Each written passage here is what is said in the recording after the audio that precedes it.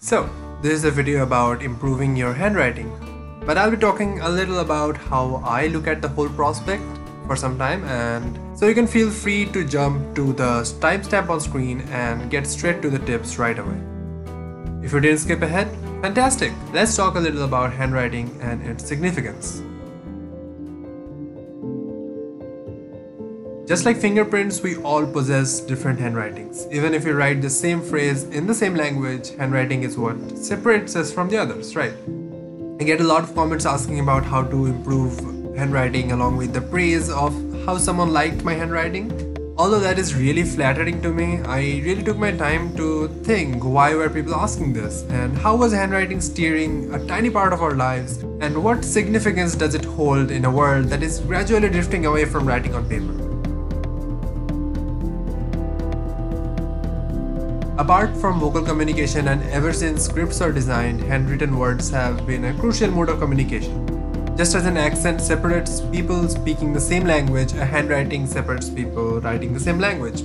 Pretty obvious. Recently I found out something called graphology. It's a science of analyzing someone's handwriting and predicting their personality or their emotions at that point of time it seemed really fascinating to me to think about how much information about ourselves and our emotions we sprinkle into everything we write. Actually, one of my friend's mom is pretty proficient in graphology, and I got her to analyze my handwriting, and she said things like calm and organized and things like that, which were, after all, pretty accurate in my opinion, most of the time. I really tried to think about why would anyone want to improve their handwriting and, and I pulled out some of my old notebooks. I initially used to write with disjoint letters but after I changed schools in uh, second standard my new school forced everyone to write in cursive so for the next three years up to fourth standard I only wrote in cursive and got pretty decent at it. Then again in 5th standard I changed schools again and suddenly in the new school there was no restriction related to handwriting but I didn't quit cursive just yet over the next 5 years I drifted away slowly from cursive handwriting and I found it easier to keep my handwriting clean with more disjointed letters. Although I never really thought about my handwriting back then, it was constantly evolving. I adopted a new handwriting. Even in my native language, Bengali, I switched handwritings quite a lot. Well, now I can write in different styles consistently, and these are basically the previous handwriting styles I had given up on. The big change came in 11th grade. I was getting more active on the internet and exploring different and new things when I stumbled upon bullet journals and the whole bullet journaling community as a whole. More than anything, the handwritings in those bullet journals were really cool to look at, like really aesthetic and pleasing, and whatever those words are. Although I realized soon that a beautiful bullet journal wasn't really my jam. Like, I still have the line, the time Bujo saved shouldn't be used on the Bujo on my StudyGram account, which I don't use anymore sad but a part of me still wanted to adopt that kind of beautiful handwriting and I was aware of my ability to acquire new handwritings in a pretty short time and rightfully within two days I was writing with something really close to that Instagram Bujo handwritings. That handwriting evolved through the next two years and I got this kind of handwriting which I write with now. But why do we want to improve our handwriting? Is it just so we can look at our own writing with satisfaction or does it go deeper than that? I remember back in school I was always told that you need to have good handwriting to impress the examiner, to get psychological advantage over your peers. While that is completely ethically wrong from an examiner's point of view, but it is true, it is kinda inevitable. Maybe that was the main reason you always wanted to have a better handwriting. I also thought about how doctors are generalized to have bad handwriting or messy handwriting. Most of the authors and poets are kinda the same, and then I thought, how come no one is asking them to improve their handwriting? In my mind, it's like this uh, what the doctor is writing is so important that we are okay with overlooking how it looks. So, in my mind, if what you write is good enough or important enough, people don't care about how it looks. When you have the freedom to do so, maybe you can try improving on that and think a bit more about it. I'm just talking about what I think, but one thing is really inevitable that the means of handwriting will soon be digitized and I really expect some people to hold on to the practice of writing on paper. I really hope someone does that. Okay, I've been babbling for quite some time now. I'm sure someone is already commenting, keep your philosophy to yourself, we don't need it. Just tell me how to write beautifully. And I agree with you. Let's get on to the tips. Disclaimer that these aren't anything groundbreaking, these are pretty simple. Firstly, if the handwriting you wish to have is way too different from your current handwriting, it's always a good idea to take your time to adopt a new handwriting instead of modifying the old one. The first thing in the process of adopting a new handwriting is to carefully study and write out all the letters in the uppercase and lowercase on a paper just for reference.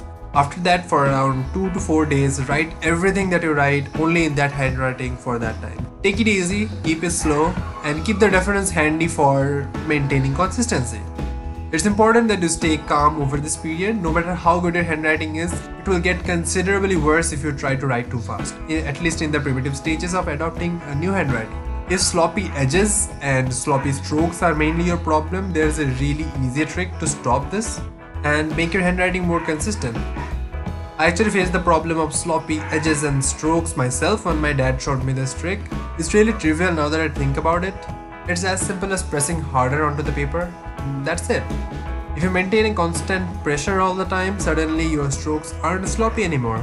Whereas for improving an handwriting is just as a simple process. It includes just pointing out what parts you want to change. Suppose you want to change your small y to look like this instead of this small y. All you need to do is to be mindful of what you write for the next few days. Whenever you encounter a small y, slow down and carefully write out the small y of your dreams. That's all the tips I could give to be honest. In the last video I made about note taking, somehow people were impressed by my handwriting, which led to getting a bunch of comments about it. But to my surprise, way too many people were asking about which pen I use. Too many people think that this pen is the secret to writing well, like, like this comment talks about how all the other pens in the world that exist either leak or are too faint. You see that I see that you see I have to uncover my secret today. My secret is the pen spinning. Well, some people call me out that I copied this legendary trick from Ali Abdaal. Well, I'm gonna prove you wrong today.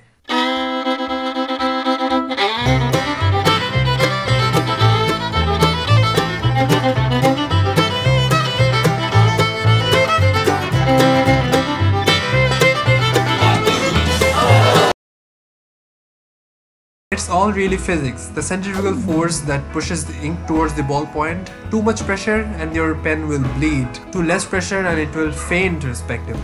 The secret is that you must spin it with an angular velocity of exactly 6.9 second inverse. And you have to use only your four fingers. okay, I can't give this up anymore. I hope you understand that part of the joke. There's absolutely nothing special about the pens I use. I write with the pens that I can find. This is really any of those cheapest 5 or 3 rupee pens that you can find in any stationery shops. Some people were asking me to tell its name, which I don't think will help you, but there you go. And I'll let you in on a secret, my pens bleed too. I have to use some really advanced tricks to stop it, to avoid it. These tricks are too hard to learn and are a top secret. Anyways, jokes apart, uh, if you're a JEE aspirant, I see how things just keep getting harder for JEE aspirants this year. I got the news that JEE is postponed once again, and here we are waiting to be seniors once again.